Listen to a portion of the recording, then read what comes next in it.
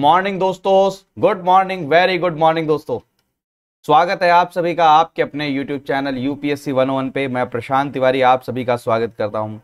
Good morning good morning Naveen, Rishikesh, Deepanshu, Faiz, Sweety. Good morning दोस्तों. Good morning share कर दो अपने दोस्तों में. सभी के सभी से शेयर कर दो, जिससे लोग जुड़ना शुरू हो जाएँ. फटाफट से जुड़ जाइए दोस्तों. गुड मॉर्निंग मेरी आवाज़ क्लियर है दोस्तों? बिल्कुल. फटाफट आइए, जुड़िए.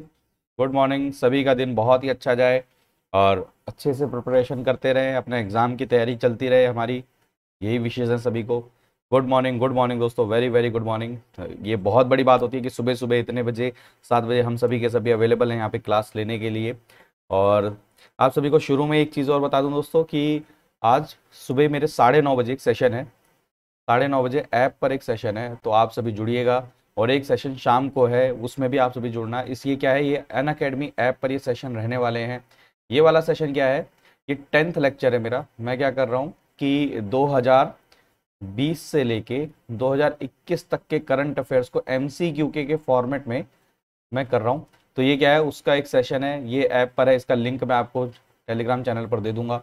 और उसके बाद पे क्या है एक और जो पॉलिटी के लेक्चर है उसमें क्या है मोस्ट इंपॉर्टेंट क्वेश्चंस वो भी हम डिस्कस करेंगे तो आप सभी से, आप सभी को वहाँ पर जुड़ना है, सभी को गुड मॉर्निंग गुड मॉर्निंग सभी को गुड मॉर्निंग दोस्तों। नमस्ते गुड मॉर्निंग तो ये सारी की सारी चीज़ें अपडेट हैं, अपने टाइम टेबल उस हिसाब से बना के रखना। साढ़े नौ बजे ऐप पर भी मिलना है। ठीक है दोस्तों तो मेरा नाम प्रशांत तिवारी आप सभी जानते हैं। मैंने पाँच साल का एक्सपीरियंस है इस फ़ील्ड में, पढ़ा रहा हूँ पाँच साल से, ये सारी चीज़ें आप सभी के सामने और आपको और मेरे लेक्चर्स चाहिए। जैसे मैं अब रोज़ क्या होता है दोस्तों, आप सभी शायद नहीं, आप अवेयर नहीं है, आप सभी नहीं देख रहे हैं। मैं करंट अफेयर्स वन वन पे भी वहाँ पर मेरा एक सेशन होता है, वहाँ पर एक मेरा लेक्चर होता है। तो आप सब वहाँ पर भी जुड़िए। ये सारा का सारा क्या है, अपना ही परिवार है, अपना चैनल यूपीएससी वन वन का परिवार है। तो जियोग्राफी वन वन आपका UPSC one one current affairs one और एनसीआरटी वन वन सभी पे जुड़ना आपको। ठीक है दोस्तों? गुड मॉर्निंग गुड मॉर्निंग दोस्तों। मैं बहुत ही बढ़िया हूँ। आप सभी कैसे हैं दोस्तों? सभी के सभी अच्छे होंगे। और आप सभी, मैंने आपको बता दिया, आज अन अकेडमी ऐप पे आपको जुड़ना है। आप वहाँ पर आइएगा, वहाँ पे क्विज की क्लासेस होती है स्पेशल क्लासेस और जो अन अकेडमी ऐप पर मैं क्लासेस ले रहा हूँ, बिल्कुल फ्री ऑफ़ कॉस्ट है। आपके लिए बिल्कुल फ्री है, आप सभी वहाँ पर आइए, जुड़िए। बस कोड याद रखना है, हर जगह पे आपको क्या याद रखना है? कोड याद रखना है P R A S H ठीक है दोस्तों?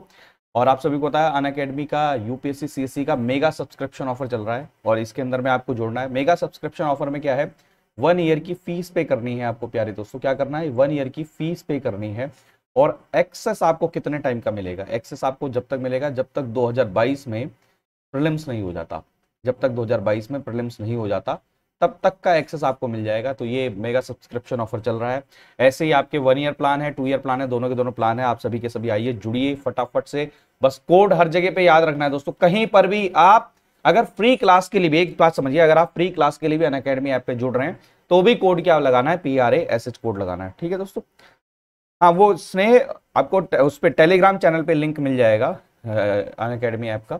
ठीक है? और आप सभी को पता है फ्री स्कॉलरशिप टेस्ट भी होता है, हर संडे को होता है, कल संडे है तो स्कॉलरशिप टेस्ट में पार्टिसिपेट करिएगा। Good morning good morning journal good morning Saloni Akhand Sneh Pallavi नवीन सभी को गुड मॉर्निंग दोस्तों। आप सभी कैसे हैं? काफ़ी दिनों के बाद सभी के सभी लाइव आए। शायद होली मनाने के लिए अपना good morning Sushma. Faiz good morning आप सभी हो सकता है होली मनाने। Good morning Gayatri. तो ये है स्कॉलरशिप टेस्ट है। जल्दी से जुड़िए जिससे सेशन को शुरू करें। अगला क्वेश्चन अगली स्लाइड जो है वो क्वेश्चन की स्लाइड है। फटाफट से आ जाइए दोस्तों। और तो ये यहाँ पर है। इसमें भी आप एनरोल कर सकते हैं। यहाँ पे स्कॉलरशिप बहुत अच्छी अच्छी स्कॉलरशिप मिलती है सभी को। ठीक है दोस्तों। मेरा टेलीग्राम चैनल हर्षित है। Unacademy Prashant Tiwari. Unacademy Prashant Tiwari है तो आप सभी के सभी उसमें जुड़िए। तो पहला क्वेश्चन आप सभी के सामने ये रहा दोस्तों। तो पहला क्वेश्चन आप सभी के सामने ये रहा आपको पता है, ये सीरीज़ आपको पता है ना, जो भी करंट इवेंट्स चल रहे हैं, जो भी करंट इवेंट्स चल रहे हैं, उनकी क्या करते हैं हम? रिवीजन करते हैं। क्या करते हैं प्यारे दोस्तों? रिवीजन करते हैं क्वेश्चंस के फॉर्मेट में, यानी कि एमसीक्यू के फॉर्मेट में। तो पहला प्रश्न आपके सामने मेरे प्यारे दोस्तों पहला प्रश्न आपके सामने ये है कि with reference to Dada Saheb Phalke award अभी आपको पता है दोस्तों, दादा साहब फाल्के अवार्ड आया है। सभी ने याद कर लिया होगा, सभी ने रट लिया होगा कि दादा साहब फाल्के अवार्ड किसको मिला है? किसको मिला है? यह सभी ने पता होगा। लेकिन हम उसके बारे में डिटेल में भी पढ़ लेते हैं तो बताइए इसके बारे में पहली स्टेटमेंट क्या है? It is presented annually at the national Filmfare award ठीक है ceremony by directorate of film festivals पहली स्टेटमेंट है। दूसरी स्टेटमेंट क्या है, प्यारे दोस्तों? It was first presented in 1950 आपको क्या बताना है? करेक्ट स्टेटमेंट बताना है दोस्तों। क्या बताना है? करेक्ट स्टेटमेंट बताना है। तो आप सभी को पता होना चाहिए कि इस साल किसको मिला है? दादा साहब फाल्के अवार्ड किसको मिला है, प्यारे दोस्तों? सभी ने इसका आंसर देना शुरू कर दिया। बहुत ही अच्छे। सभी ने बिल्कुल सही, सभी ने आंसर देना शुरू कर दिया। तो इसका करेक्ट आंसर क्या है? पहला अवार्ड कब मिला था? और एक क्वेश्चन और है। एक क्वेश्चन आप सभी के लिए और है कि first Dada Saheb Phalke award first Dada Saheb Phalke award किसको मिला था? फ़र्स्ट दादा साहब फालके अवार्ड किसको मिला था? तो पहली स्टेटमेंट बिल्कुल सही है दोस्तों। ये नेशनल फ़िल्म फेयर अवार्ड के साथ में ही शुरू होता है और डायरेक्टर ऑफ़ फ़िल्म फेस्टिवल इसको देते हैं। फ़र्स्ट स्टेटमेंट बिल्कुल सही है। और सेकंड स्टेटमेंट गलत है क्योंकि 1950 में नहीं दोस्तों 1969 में पहली बार देना शुरू किया गया था, पहले 1969 में। तो फ़र्स्ट स्टेटमेंट सही है, सिर्फ़ ओनली वन इसका करेक्ट आंसर हो जाएगा। सभी ने इसका सही आंसर देना शुरू कर दिया है। क्या आंसर है इसका? ओनली वन और इस साल किनको मिला है? रजनीकांत जी को मिला है। रजनीकांत सर को मिला है। ठीक है दोस्तों, रजनीकांत जी को मिला है। रजनीकांत जी को मिला है। ठीक है? क्लियर है? चलिए। दीप्ति ने आंसर दिया, देविका रानी जी को फ़र्स्ट टाइम मिला था। ये बहुत इंपॉर्टेंट चीज़ है दोस्तों। ये, यही, और जो आपका दादा साहब फाल्के अवार्ड है ना, ये पूरी की पूरी फ़िल्म इंडस्ट्री में सबसे हाईएस्ट अवार्ड माना जाता है। पूरे सिनेमा जगत के अंदर में सबसे हाईएस्ट अवार्ड माना जाता है। और 1969 में पहला अवार्ड मिला था। 1969 में। और इसमें मिलता क्या है? इसमें आपको क्या क्या मिलता है? दस लाख रुपए मिलते हैं शॉल मिलती है ये भी पूछ सकते हैं आपसे, ये पूछ सकते हैं, गोल्डन लोटस मिलता है। क्या मिलता है दोस्तों? गोल्डन लोटस मिलता है। और मिनिस्ट्री कौन सी है? मिनिस्ट्री कौन सी है प्यारे दोस्तों? मिनिस्ट्री आपके ministry of information and broadcasting के द्वारा ये किया जाता है। ये कुछ फैक्ट्स हैं जो आपके एग्ज़ाम में बहुत ज़्यादा इंपॉर्टेंट है आपके एग्ज़ाम पर्सपेक्टिव से। ठीक है दोस्तों? और ये कब मिला था? फ़र्स्ट मिला था 1969 में मिला था। और किनको मिला था? देविका रानी जी को मिला था। किनको? देविका रानी जी को मिला था। और इनको क्या बोला था? First lady of Indian cinema, first lady of Indian cinema तो इसलिए ये आपके लिए दादा साहब फाल्के अवार्ड काफ़ी ज़्यादा इंपॉर्टेंट है। काफ़ी ज़्यादा इंपॉर्टेंट है दोस्तों, ठीक है? और ये अवार्ड किसके लिए मिला कौन से? जो अच्छा आपके लिए एक और क्वेश्चन है दोस्तों, आपके लिए एक और क्वेश्चन है। जो रजनीकांत जी को अवार्ड मिला है, ये कौन से ईयर के मिला है? 2020 2021 और 2019 बताइए। या 2018 कौन से ईयर के लिए मिला है? हमेशा यह भी याद रख लिया करो कि कौन से ईयर के लिए मिला है। आपसे स्टेटमेंट में घुमा क्या सकते हैं कि क्या नाम है 2018 के लिए मिला है 2020 के लिए मिला है। तो आपको ईयर भी ध्यान रखना है दोस्तों, ईयर भी ध्यान रखना है कि कौन से ईयर के लिए क्वेश्चन होते हैं। मतलब कौन से क्वेश्चन बोल दिया, कौन से ईयर के लिए है। ठीक है दोस्तों, जल्दी से बताइए। 2019 प्रियांशी ने आंसर दिया 2019 क्या बात है, बहुत ही अच्छे। तो पता है लाइन टू लाइन बिल्कुल एकदम परफेक्टली पढ़ना चाहिए आपने को, ठीक है? बहुत ही अच्छे, सभी ने सभी ने आंसर दे दिया इसका, सभी ने आंसर दे दिया है। तो ठीक है, और दादा साहब कौन थे? दादा साहब के बारे में पढ़ लेना चाहिए। दादा साहब आपके बहुत 1944 तक थे, उनका 1944 में स्वर्गवास हुआ, ठीक है? और वो बहुत बड़े, जो सबसे पहली जो फ़िल्म थी ना, सबसे पहली फ़िल्म ये क्वेश्चन पूछना था, ठीक है? हाँ बिल्कुल सही कह रहे हैं, दो अठारह में अमिताभ बच्चन को मिला था। ये अवार्ड मिला है 2019 के लिए मिला है।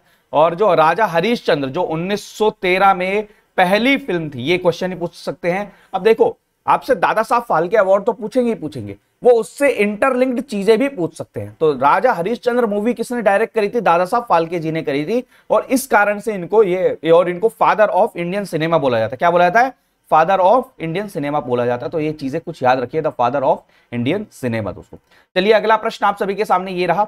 With reference to Shri Shiv Kumar Swami galu, Shri Shiv Kumar Swami galu के रेस्पेक्ट में ये क्वेश्चन का आंसर दीजिए, और आपको पता है दोस्तों, अगर आप, मैं आपको बता दूँ, एक चीज़ क्लियर कट बता दूँ, अगर आप पर्सनालिटी बेस्ड क्वेश्चंस नहीं करके जाओगे, नहीं प्रिपेयर करके जाओगे करंट अफेयर से तो आप एग्ज़ाम में ये क्वेश्चन सॉल्व नहीं कर पाओगे। ठीक है दोस्तों? तो बताइए इसका करेक्ट आंसर बताइए। बताइए इसका करेक्ट आंसर बताइए। श्री शिव कुमार स्वामी गालू से रिगार्डिंग क्वेश्चन है आपके सामने। पहला कौन सा he? Was Lingayat religious finger figure अब ये आपको पता होना चाहिए लिंगायत जो सेक्ट है, ये आपका कर्नाटका में है। कहाँ पर है दोस्तों? कर्नाटका में है। कुछ चीज़ें इनके बारे में भी पता होनी चाहिए। और दूसरी क्या है? और क्या है? ये हेड थे आपके सिद्ध गंगा मठ के हेड थे। और तीसरी, दूसरी स्टेटमेंट क्या है? ही फाउंडेड द श्री सिद्ध गंगा एजुकेशन सोसाइटी सभी इसका आंसर सी दे रहे हैं। बहुत ही अच्छे, फटाफट फटाफट से आंसर देते जाइए। और दोस्तों, एक चीज़ और है, आप अपने फ्रेंड्स वगैरह में भी इस सेशन को शेयर करिए, जिससे ज़्यादा से ज़्यादा लोग जुड़े इस सेशन के अंदर में। तो बिल्कुल सही बात है, ये दोनों की दोनों स्टेटमेंट्स क्या है, मेरे प्यारे दोस्तों? सही हैं। पहली स्टेटमेंट भी सही है और सेकंड स्टेटमेंट भी सही है। अब देखिए, आप ज़्यादातर क्या होता है, जब एग्ज़ाम के लिए लोग प्रिपेयर कर रहे हैं, अगर ये पर्सन न्यूज़ में है तो आपने इनको प्रिपेयर कर लिया। लेकिन वो किससे रिलेटेड है? लिंगायत कम्युनिटी से भी रिलेटेड है। तो लिंगायत कम्युनिटी के बारे में भी पढ़ना चाहिए दोस्तों। आपको बता दूँ, भक्ति मूवमेंट भक्ति मूवमेंट से क्वेश्चन हर साल आता है। हर साल आता है भक्ति मूवमेंट से क्वेश्चन जैसे मैं आपको 2019 का एक क्वेश्चन बताऊँ, उस समय त्यागराज त्यागराज काफ़ी ज़्यादा न्यूज़ में थे, काफ़ी ज़्यादा न्यूज़ में थे तो उनसे रिलेटेड क्वेश्चन आ गया। लास्ट ईयर किससे रिलेटेड क्वेश्चन आया था? आपके, इनके, तुलसीदास जी से रिलेटेड और क्या नाम उनसे क्वेश्चन आ जाता। और क्वेश्चन इनके बारे में तो आता ही है। आता ही है, बारे में तो आता ही है प्लस में ये भी आ जाता है किसके कंटेम्प्रेरी थे, कौन से टाइम में थे। तो ये भी चीज़ें आपको एग्ज़ाम के लिए बहुत इंपॉर्टेंट होती है। सी इसका करेक्ट आंसर है बोथ वन एंड टू ठीक है दोस्तों तो अभी देखिए इनके बारे में, अभी इनका 1907 से लेके 2019 तक था, और इनके क्या में स्पिरिचुअल लीडर हैं, काफ़ी ज़्यादा इनका हो गया। चलो नहीं करिए, अभी जागे नहीं है, कोई बात नहीं, हम जगाएँगे, सभी को हम पढ़ेंगे, ठीक है दोस्तों? तो लिंगायत कम्युनिटी लिंगायत जो रिलीजियस लिंगायत जो एक सेक्ट है, वो कहाँ पर है आपका? कर्नाटका में है दोस्तों। कहाँ पर है? कर्नाटका में है, ये याद रखना, आपके एग्ज़ाम के लिए बहुत इंपॉर्टेंट है आपका ठीक है? और इन्होंने क्या किया था? श्री सिद्ध गांगा, जो एजुकेशन सोसाइटी है, उसको फाउंड किया था और हंड्रेड इंस्टीट्यूशन जो है एजुकेशन और ट्रेनिंग के इन्होंने वहाँ पर किए थे। तो ये कुछ चीज़ें हैं आपके एग्ज़ाम के लिए बहुत ज़्यादा इंपॉर्टेंट है।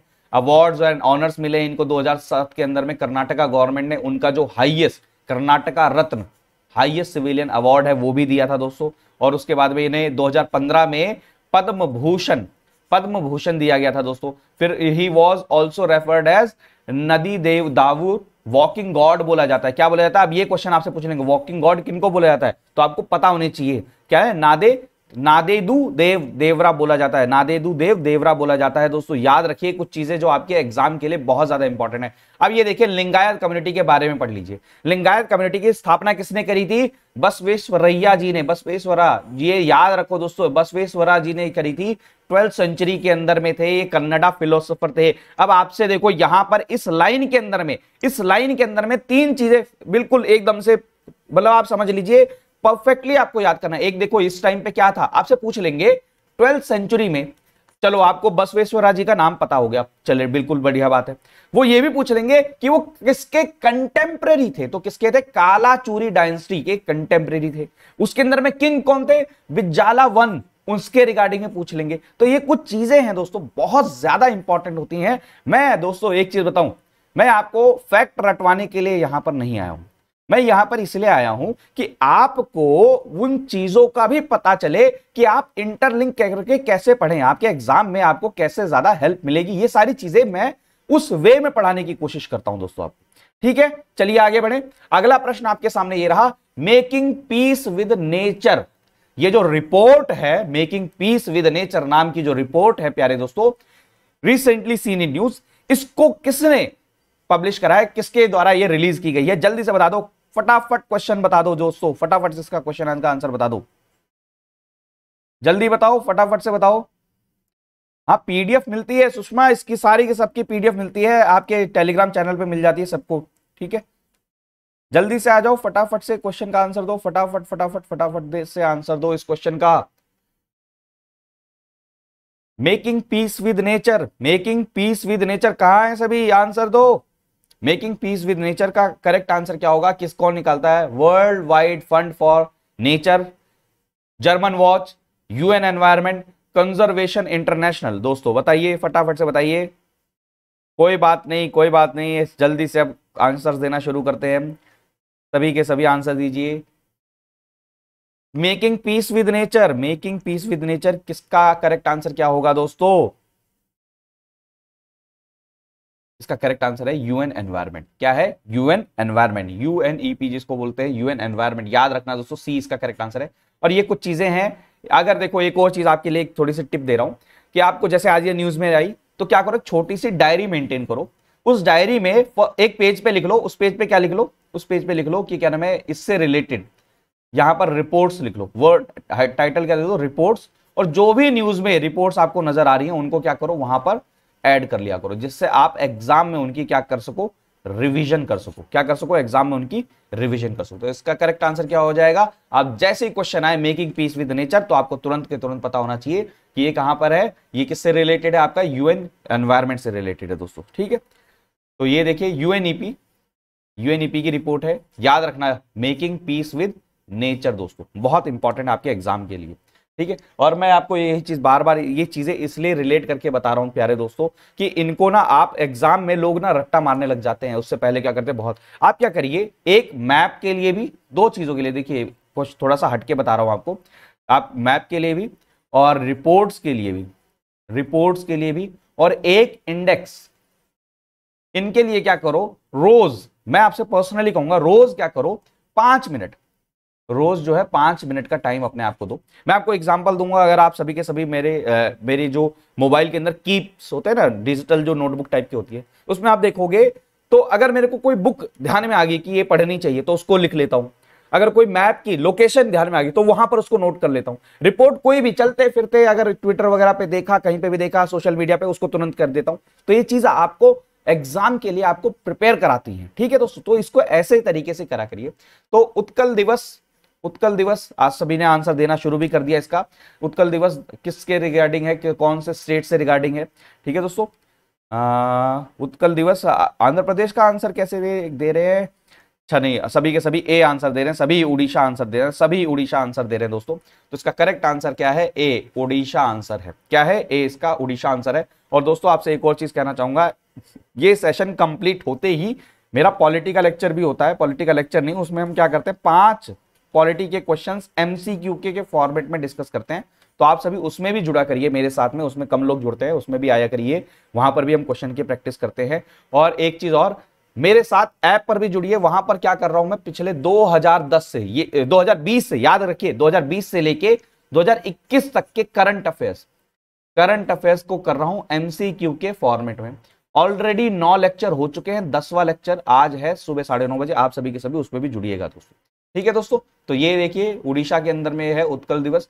86 स्टेटहुड डे मनाया गया है। 86 स्टेटहुड डे मनाया गया है। ठीक है दोस्तों, याद रखिए कुछ चीज़ें आपके एग्ज़ाम में डायरेक्ट पूछ सकते हैं। ठीक है, और ये उसके बारे में सारी की सारी जो है आपके सारे, आपकी ये जो चीज़ें हैं, ये आपको पीडीएफ है। मैं शेयर कर दूँगा। फ़र्स्ट अप्रैल 1912 में Bihar, Orissa province was form ये किया गया था। फिर फ़र्स्ट अप्रैल 1936 के अंदर Bihar and Orissa were split ठीक है दोस्तों? चलिए, अगला प्रश्न आप सभी के सामने है। थैंक यू सो मच सभी का थैंक यू सो मच दोस्तों थैंक यू सो मच अगला क्वेश्चन आप सभी के सामने। Which of the following was not criteria क्या है दोस्तों? नॉट क्राइटेरिया कल ही मैंने आपको बोला था। क्या बोला था? कल ही आपको मैंने बोला था कि जो फाइनेंस कमीशन है सिर्फ़ फाइनेंस कमीशन सिर्फ़ फाइनेंस कमीशन को रट लेना, ये मत रट लेना कि 280 आर्टिकल के तहत बनता है, उसमें कौन से उसके चेयरमैन होते हैं, बल्कि आपको ये भी रटना ये मत रट लेना कि 42 से 41 परसेंट हो गया है, बल्कि आपको ये भी रटना है कि जो क्राइटेरिया है, जो क्राइटेरिया है, वो क्या क्या है दोस्तों? क्राइटेरिया क्या है? टाइम चेंज करने के लिए सरिता, दरअसल टीम ऑलरेडी टीम में बहुत सारे सेशंस होते हैं तो वहाँ पे हो नहीं पाता। ठीक है, कोई बात नहीं, हम करते हैं बात। सर से बात करेंगे, सर, सुमित सर से बात करके एक बार देखते हैं अगर टाइम वगैरह कुछ चेंज किया जा सका है। ठीक है तो मैं आपको कह रहा था दोस्तों, दरअसल जैसे आप समझिए कि हंड्रेड में से अभी क्या बोला है फोर्टी वन रुपीज़ देने हैं स्टेट्स को। ये एक पूल चला गया स्टेट्स के पास में ट्वेंटी नाइन स्टेट्स के पास में क्या चला गया पूल चला गया। अब इन स्टेट्स में से अब इन स्टेट्स में से, इन स्टेट्स में से जितने भी स्टेट्स हैं, इनमें किस किस को कितना शेयर मिलेगा, वो किसके ऊपर में डिसाइड होता है? क्या होता है? किसके ऊपर में डिसाइड होता है? उसके लिए कुछ क्राइटेरिया है, जैसे income forest cover physical discipline of the state ऐसी सारी चीज़ें हैं। तो आप अब बताइए दोस्तों, कि कौन सा ऐसा क्राइटेरिया है जो यूज़ नहीं किया गया है दोस्तों? समझिए, जो यूज़ नहीं किया गया है। तो बताइए दोस्तों, फटाफट से बताइए इस क्वेश्चन का आंसर लगता है ये क्वेश्चन किसी को भी आ, नहीं आ रहा समझ में और काफ़ी लोगों ने इसका आंसर नहीं दिया। तो बताइए कौन सा क्राइटेरिया कौन सा क्राइटेरिया? तो जल्दी से बताइए मैं अगर आप सभी ने अगर आप आज तक एक बार भी टेबल देखी होती ना एक बार भी टेबल देखी होती तो इसका करेक्ट आंसर लगा देते अभी। नॉट क्राइटेरिया पूछा है नॉट क्राइटेरिया नॉट क्राइटेरिया। ठीक है? तो इसका करेक्ट आंसर क्या है दोस्तों? सभी ने इसका आंसर देना डी डी, स्किप। क्योंकि हाँ अगर देखो नहीं आता है तो स्किप कर दो। यहाँ से बल्कि ये सोचो, ये ये सोचो कि सीखने को मिलेगा, ज़बरदस्ती कुछ नहीं तो इसका करेक्ट आंसर क्या हो जाएगा? D poverty rate in the states ये क्राइटेरिया कभी भी यूज़ नहीं किया गया है, प्यारे दोस्तों। कभी भी यूज़ नहीं किया गया है। ये देखिए ये देखिए ये देखिए दोस्तों, मैं कह रहा हूँ ना कि आपको ये एग्ज़ाम में बहुत इंपॉर्टेंट है। Eleventh twelfth, thirteen, fourteen. उनके अंदर में देखो क्या क्या criteria income distance population population 2011 index of देखिए, कहीं पर भी पॉवर्टी नज़र आ रहा है, कहीं पर भी पॉवर्टी नज़र आ रहा है, कहीं पर भी पॉवर्टी नज़र आ रहा है, नहीं तो वो हो जाएगा आपके। ऐसे करके आपके एग्ज़ाम में घुमा सकते हैं। अभी क्या था? नहीं वाला। ये पूछ लेंगे आपसे कौन कौन से क्राइटेरिया हैं कौन कौन से क्राइटेरिया हैं, ये पूछ लेंगे। तीन दे देंगे और एक उसमें एक्स्ट्रा आपको घुमाने के लिए दे देंगे। तो ये क्या हो जाएगा? आपको पता होना चाहिए क्राइटेरिया के बारे में। और आपको कहूँगा दोस्तों जो फिफ्टीन फाइनेंस कमीशन की जो रिपोर्ट आई है उसमें कौन कौन सी आ, क्या नाम है? अच्छा चलिए आपको ये भी बता देता हूँ कि इनकम डिस्टेंस क्या होता है। बहुत अच्छा क्वेश्चन पूछा। बहुत ही अच्छा मधु की पाठशाला ने बहुत अच्छा क्वेश्चन पूछा। इनकम डिस्टेंस क्या होता है? क्या होता है? दरअसल आप देखिए किसी स्टेट का मान के चलिए एक्स स्टेट है उसकी हाईएस्ट पर कैपिटा इनकम उस स्टेट की हाईएस्ट पर कैपिटा इनकम होती है। जस्ट अजूम कितना है? थाउज़ेंड रुपए मान लो। अब एग्ज़ाम्पल दे रहा हूँ बस खाली थाउज़ेंड रुपए। और जो कोई एक स्टेट ऐसा भी होगा, जिसकी लोवेस्ट स्टेट की, जिसकी लोवेस्ट क्या में क्या क्या होगी? पर कैपिटा इनकम होगी। क्या होगी? पर कैपिटा इनकम होगी। या फिर मान लीजिए जिस फॉर एग्जांपल मान लीजिए, ये है मुंबई की। किसकी है? मुंबई की है। ठीक है? अब मान के चलिए यूपी की या कहीं की पर कैपिटा इनकम कितनी है? 500 तो इन दोनों के बीच के डिफरेंस को बोला जाता है। क्या बोला जाता है? इनकम क्या बोला जाता है दोस्तों? दोस्तों, इनको इनको इनकम डिस्टेंस बोला जाता है। क्या बोला जाता है? इनकम डिस्टेंस तो इसका इन शॉर्ट क्या हो जाएगा? Difference between difference between highest per capita income of a state to the their state ठीक है? ये क्लियर है? क्लियर है? मधु, जो क्लियर हो गया कि पूरे के पूरे इंडिया में हाईएस्ट पर कैपिटा इनकम कौन सा स्टेट की है? वहाँ से लेके हर स्टेट की अपनी पर कैपिटल इनकम कितनी है उसके बीच के डिफरेंस को बोलते हैं इनकम डिस्टेंस बोलते हैं। ठीक है दोस्तों? ठीक है दोस्तों? चलिए आगे बढ़े। अगला प्रश्न आप सभी के सामने ये रहा। अगला प्रश्न आपके सामने ये है। क्लियर हो गया? आ, हाँ, सब क्लियर हो गया। आप सभी बातें कर रहे हैं मैं जो समझा रहा हूँ वो भी समझिए। डेफिनेशन बेस्ड भी क्वेश्चन आ सकता है। चलिए क्वेश्चन बताइए। Light weight bullet proof jacket से रिलेटेड क्वेश्चन का आंसर दीजिए। It is developed by defence material and store research and development establishment Kanpur पहली स्टेटमेंट दूसरी statement it is weighing nine K G meeting the qualitative requirement of Indian army ये बताइए बताइए दोस्तों।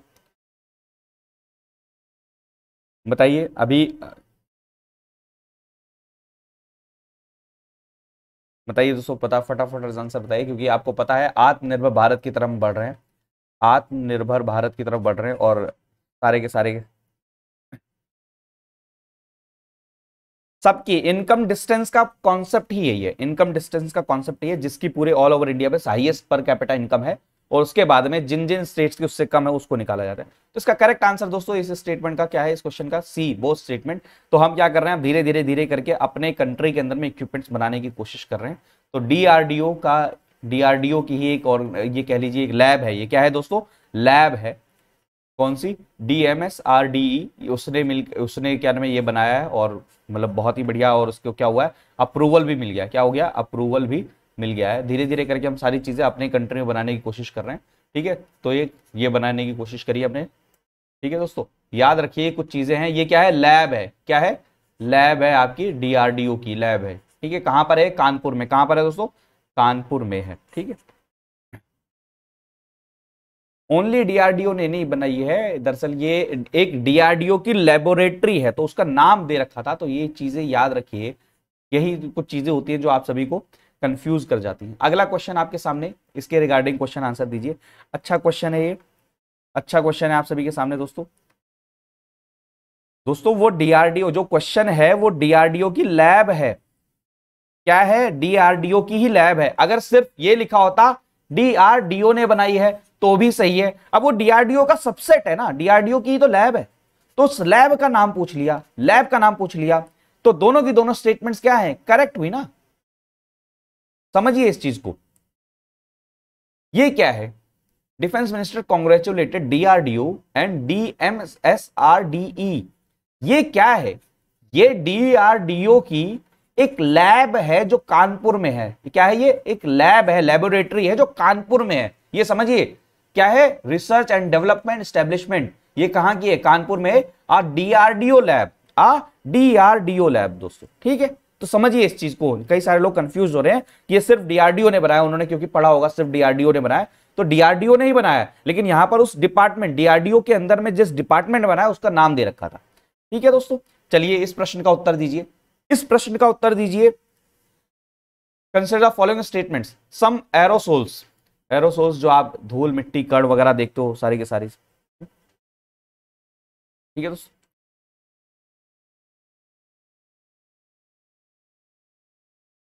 बताइए, चलिए। करते हैं डाउट आपका मधु उसके बारे में। हाँ सलोनी, पहले वाले क्वेश्चन का आंसर दोनों का दोनों दोनों statements both statements are true first and second दोनों की दोनों स्टेटमेंट्स सही हैं। ठीक है? तो अब इसका करेक्ट आंसर दीजिए। इसका करेक्ट आंसर दीजिए। एरोसेल से रिलेटेड है। Are reflective when sun, rays beam down on them, they bounce the rays back out of the atmosphere. पहली स्टेटमेंट ये है। दूसरी स्टेटमेंट क्या है? Mist dust particulate, air pollutants and smoke are examples of anthropogenic aerosols. Anthropogenics aerosols का मतलब anthropogenic का मतलब क्या है? मानव निर्मित मानव जनित हमारे द्वारा जो बनाए गए वो वाले होते हैं। तो बताइए दोस्तों करेक्ट आंसर बताइए। तो ए आंसर दे रहे हैं, कोई बी दे रहे हैं, कोई सी आंसर दे रहे हैं तो इसका करेक्ट आंसर क्या होगा दोस्तों? ओनली वन इसका करेक्ट आंसर होगा ए इसका आंसर होगा ओनली वन इसका सही है। पूछिए क्यों? दरअसल इसके पीछे का रीजन क्या है? सम एरोसोल्स आर रिफ्लेक्टिव बिल्कुल सही। जैसे ये देखिए, ऊपर ये क्या होता है? कण है। जब सन की रेज आती हैं तो क्या होती हैं? कई सारी ये जो एरोसोल्स हैं, उनको रिफ्लेक्ट बैक कर देते हैं। क्या कर देते हैं? रिफ्लेक्ट बैक कर देते हैं। तो पहले स्टेटमेंट क्या है दोस्तों? बिल्कुल सही। दूसरी स्टेटमेंट को देखिए, समझिए क्या है? Mist dust particulate air pollutants and smoke are examples of anthropogenic aerosols दोस्तों, जो एरोसोल्स हैं, जो कड़ हैं, जो हमारे पूरे वातावरण में फैले हुए, जो एटमोस्फियर में है, वो दो टाइप के होते हैं। एक नेचुरल होते हैं, एक नेचुरल होते हैं और एक क्या होते हैं? एंथ्रो होते हैं एंथ्रोपोजेनिक होते हैं। ठीक है? पूछो नेचुरल कौन से होते हैं? आपने देखा होगा, कई दोस्तों, कई बार क्या होता है, आपके जो वोल्केनोज से होता है, कई सारे हॉट स्प्रिंग से होता है, वहाँ से निकल रहे होते हैं। कई सारे कण जो नेचुरली हमारे एनवायरमेंट में है, उनको नेचुरली बोलते हैं, जैसे आपका मिस्ट हो गया डस्ट हो गया। ये सारी की सारी चीज़ें नेचुरली होती और कुछ चीज़ें जो हैं, जो मानव जनित हैं मानव जनित कैसी? जैसे मान के चले पॉल्यूशन वाला हो गया स्मोक हो गया, क्या हो गया? स्मोक हो गया, ये सब क्या हो गया? एंथ्रोपोजेनिक हो गया। तो यहाँ पर देखिए, इन दोनों, ये दोनों क्या है? मिस्ट और डस्ट क्या है? ये आपके नेचुरल में भी आते हैं नेचुरल में आते हैं। किसमें आते हैं? नेचुरल में आते हैं दोस्तों। समझ रहे हैं आप? समझ रहे हैं दोस्तों? तो एरोसोल्स क्या है? और ये क्या है दोस्तों? एरोसोल्स जो होते हैं, जो पूरे उसमें एनवायरमेंट होते हैं, ये आपके जो क्लाइमेट है, उसको बहुत ज़्यादा इफ़ेक्ट करते हैं। पहली बात तो ये ये इंश्योर करते हैं दो वे में। ये हीट कितनी आएगी? और दूसरा दोस्तों ये बहुत ज़्यादा इफ़ेक्ट करते हैं किस चीज़ को? क्लाउड फॉर्मेशन को। किस चीज़ को? क्लाउड फॉर्मेशन को। ये कुछ चीज़ें हैं एनवायरमेंट में। दोस्तों, अच्छे क्वेश्चंस होते हैं। आप एग्ज़ाम में के पर्सपेक्टिव एक चीज़ दोस्तों, आप सभी को जितने भी लोग यहाँ पर तैयारी कर रहे हो, एक चीज़ को एनवायरमेंट को हल्के में लेके मत जाना दोस्तों। हर साल ऑलमोस्ट 15 क्वेश्चंस एनवायरमेंट के आते हैं। तो ये सोचो कि आप सिर्फ़ और सिर्फ़ जाओगे और एनवायरमेंट के करंट अफेयर्स करके चले जाओगे तो एग्ज़ाम निकल जाएगा। नहीं एनवायरमेंट के पूरे प्रॉपर जैसे आप पॉलिटी पढ़ते हो, वैसे प्रॉपर उसको प्रिपेयर करके जाना है, ठीक है तो एग्जाम्पल्स ऑफ़ एरोसोल्स जो नेचुरल एरोसोल्स हैं फॉग हो गया मिस्ट हो गया डस्ट हो गया फॉरेस्ट हो गया, यहाँ से गीजर स्ट्रीम से सारी चीज़ें निकलती हैं। और अगर, आप देखो, अगर एंथ्रोपोजेनिक यानी कि हमारे द्वारा पार्टिकुलेट एयर पॉल्यूटेंट्स और स्मोक होता है उसके अंदर में, ठीक है दोस्तों? तो ये मैंने आपको बताया एटमोसफेयर को इफ़ेक्ट करता है और क्लाउड्स को भी इफ़ेक्ट करता है। तो ये सारी की सारी चीज़ें आपके एग्ज़ाम के पर्सपेक्टिव जो जो इंपॉर्टेंट होती है, आपको मैं कर देता हूँ। शांतिर ऑग्रन सेना। शांतिर ऑग्रन सेना जो है, ये कब कैसे होगा? ये 2021 में एक एक्सरसाइज करी जाएगी। तो किस कंट्री के साथ में ऑग्रो सेना ऑग्रो सेना, शांतिर या शायर बोल लो, शांतिर शांतिर ऑग्रो सेना। शांतिर ऑग्रो सेना किससे रिलेटेड है प्यारे दोस्तों? शांतिर ऑग्रो सेना। शांतिर ओग्रो सेना किससे रिलेटेड है? शांतिर ओग्रो सेना, बताइए किससे रिलेटेड है? बिल्कुल एग्जैक्टली exactly, नवीन। लेकिन कई सारे लोग क्या करते हैं गलती कर जाते हैं कि वो उसको इतनी इंपॉर्टेंस नहीं देते हैं। वो उसको इतनी इंपॉर्टेंस नहीं देते तो वहाँ पे प्रॉब्लम हो जाती है। तो इसका करेक्ट आंसर क्या होगा? किसके साथ में ये हम करने वाले हैं एक्सरसाइज करने वाले हैं? दोस्तों किसके साथ करने वाले हैं? बांग्लादेश के साथ करने वाले हैं। डी सभी के सभी आंसर लगा रहे हैं। बांग्लादेश। डी इसका करेक्ट आंसर हो जाएगा। बांग्लादेश इसका करेक्ट आंसर है दोस्तों। तो ये देखिए ये क्या है? मल्टी मिलिट्री एक्सरसाइज होने वाली है। शांतिर ऑग्रो सेना ठीक है दोस्तों ऑग्रो सेना का मतलब क्या होता है? Front runner for the peace देखिए, ठीक है? तो ये याद रखिए कुछ चीज़ें आपके एग्ज़ाम के लिए जो होती हैं जो जो इंपॉर्टेंट है, वो चीज़ें मैं आपके लिए लेकर आ जाता हूँ। ठीक है दोस्तों? और सारी की सारी चीज़ें। अगला क्वेश्चन आप सभी के सामने ये है। अच्छा क्वेश्चन है, ये वाला क्वेश्चन है। ये वाला क्वेश्चन है डबल स्टार मार्क कर लो। अगला क्वेश्चन आप सभी के लिए ये रहा। बताइए इस क्वेश्चन का आंसर दीजिए।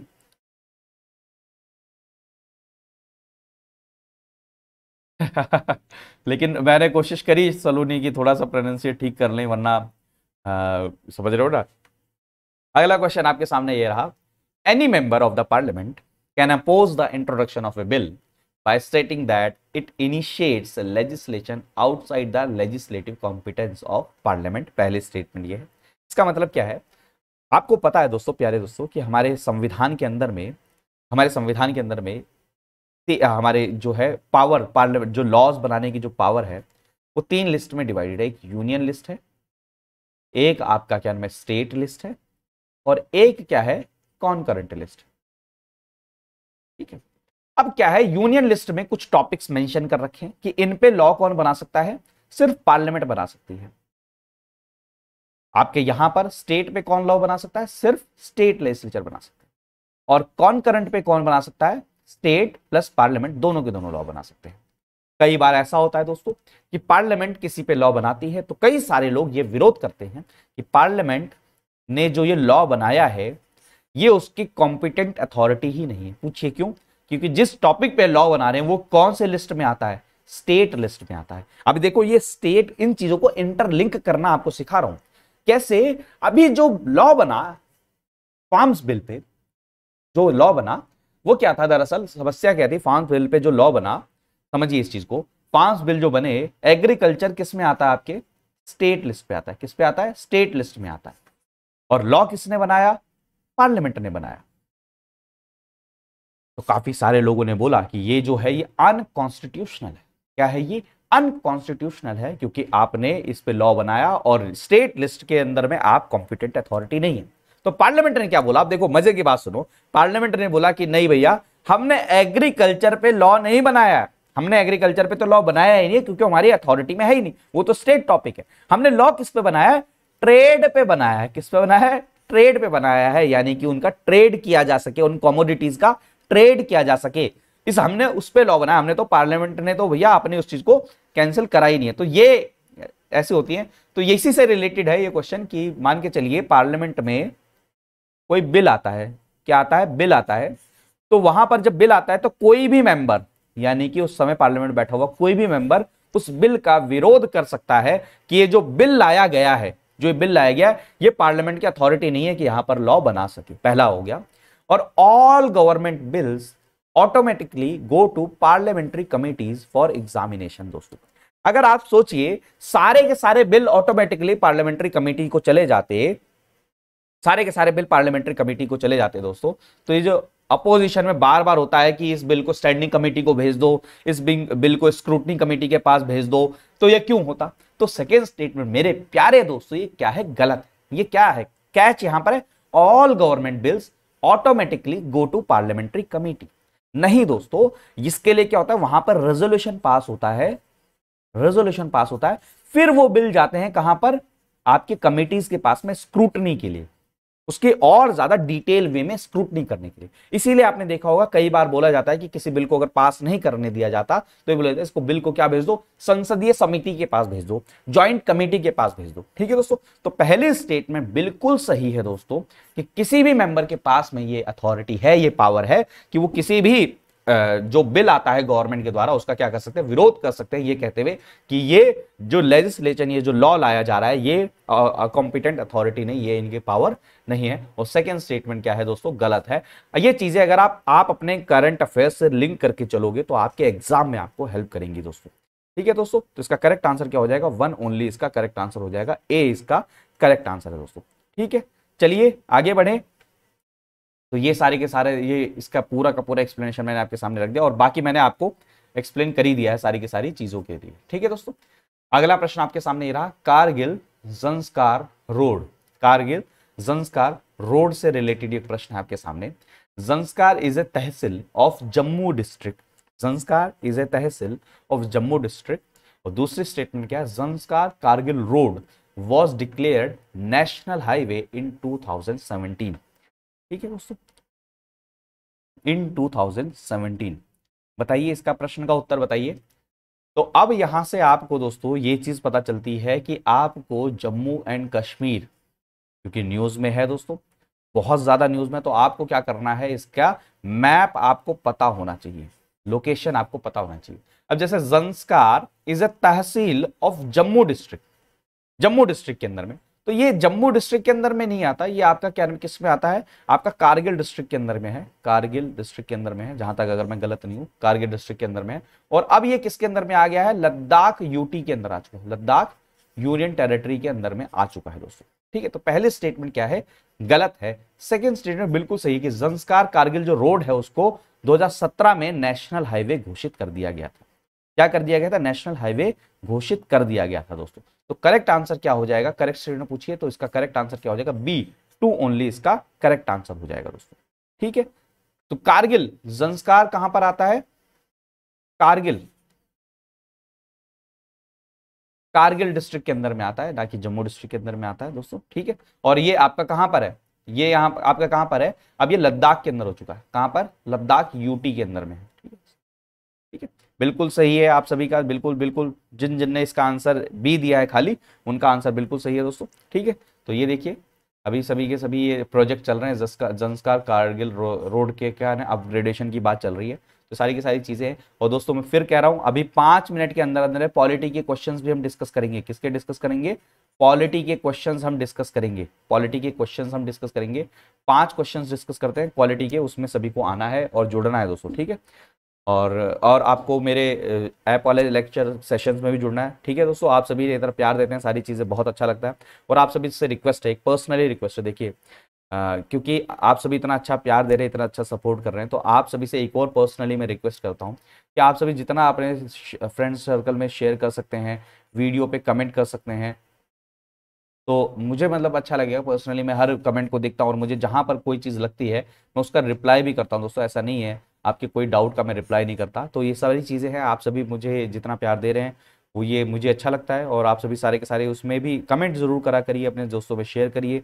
जिससे और ज़्यादा लोगों तक पहुँचे, क्योंकि शेयरिंग इज़ केयरिंग आज के समय पर दोस्तों जितना ज़्यादा आप शेयर करेंगे, ठीक है? साढ़े नौ बजे टाइम है अन अकेडमी ऐप पर साढ़े नौ बजे टाइम है दोस्तों, वहाँ पर भी जुड़ना है सभी को, ठीक है दोस्तों? और आप सभी को पता है अन अकेडमी पे सारी चीज़ मिलती है daily live classes live test quiz unlimited सारी चीज़ें होती हैं। आप सभी जानते हैं अन अकेडमी का मेगा सब्सक्रिप्शन ऑफ़र चल रहा है वन ईयर के प्लान के अंदर में आपको। 2022 में जब भी प्रीलिम्स होगा, जब भी प्रीलिम्स होगा, आपको क्या मिलेगा और तब तक का एक्सेस मिलेगा। ठीक है दोस्तों? और उसके बाद में आपका क्या है, दो टू ईयर प्लान है वन ईयर प्लान है, इन सब में आपको क्या याद रखना बस आपको कोड याद रखना P R A S H ये कोड याद रखना है दोस्तों। ये आपको क्या करेगा फ्री में एक्सेस आपको, जो फ्री की क्लासेज है, उनका फ्री में एक्सेस दे देगा। जहाँ पर पेड है, वहाँ पर आपको टेन परसेंट का दोस्तों, क्या मिल जाएगा डिस्काउंट भी मिल जाएगा।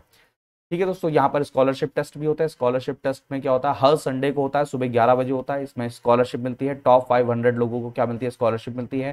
टॉप थ्री लोगों को क्या मिलता है? वन ईयर का सब्सक्रिप्शन मिलता है दोस्तों। तो ये भी चीज़ें हैं, आप सभी जुड़िए। कोड हमेशा याद रखना है। आप सभी कुछ भी ज्वाइन करते हैं। इवन अगर आज, जैसे मैं आपको बताता हूँ, आज आप मेरे फ्री की क्लास को ज्वाइन करने वाले हैं, जो साढ़े नौ बजे है तो वहाँ पर आपसे कोड मांगेगा अनलॉक करने के लिए। तो भी आपको क्या अप्लाई करना है? P R A S H code apply करना है। यहाँ पे प्लस की भी क्लासेस चलती हैं दोस्तों आइकॉनिक क्लासेस चलती है। आइकॉनिक क्लासेस में दोस्तों क्या होता है, आपको पर्सनल गाइड मिलते हैं। कौन मिलते हैं? पर्सनल गाइड मिलते हैं। हाँ लिंक आपको मिल जाएगा सरिता साढ़े नौ बजे से पहले टेलीग्राम चैनल पे। टेलीग्राम चैनल को ज्वाइन कर लीजिए, वहाँ पर मिल जाएगा दोस्तों।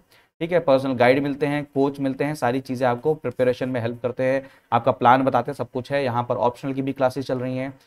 ऑप्शनल की भी क्लासेस चल रही हैं दोस्तों, जो आपको आप ऑप्शन की तैयारी कर सकते हैं। आपके में इसमें भी यहाँ पर कोड लगाएँगे तो भी टेन परसेंट का डिस्काउंट मिल जाएगा। कॉम्बो भी है, ऑप्शनल प्लस में जीएस, इसका भी कॉम्बो मिलना चाहता है। ठीक है दोस्तों इंटरव्यू प्रोग्राम भी चल रहे हैं, सब कुछ चल रहा है करंट अफेयर्स की क्या करते चल रहे हैं टेस्ट सीरीज़ चल रही है, इसको भी अनलॉक करने के लिए आपको बस ये कोड याद रखना हर जगह पे दोस्तों। ठीक है तो आप बैचेस चल रहे हैं, हिंदी में भी चल रहा है इंग्लिश में भी चल रहा है और हिंदी प्लस इंग्लिश दोनों में बाईलिंगुअली बैचेस चल रहे हैं। एनसीईआरटी के लिए स्पेसिफिक बैच चल रहे हैं। ये सारी चीज़ें यहाँ पर आपको अन अकेडमी दे रहा है। अगर आपको ये वीडियो पसंद आ रही हैं तो प्लीज़ वीडियो को लाइक करा करिए।